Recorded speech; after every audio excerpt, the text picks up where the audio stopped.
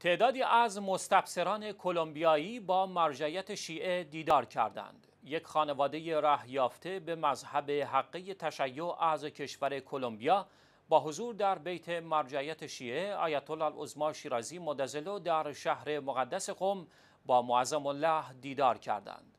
به گزارش پایگاه اطلاع رسانی دفتر آیت الله شیرازی این خانواده که به تازگی به دین مبین اسلام و مذهب حقی تشیع گرویده اند در این دیدار به رهنمودهای معظم الله گوش فرا دادند.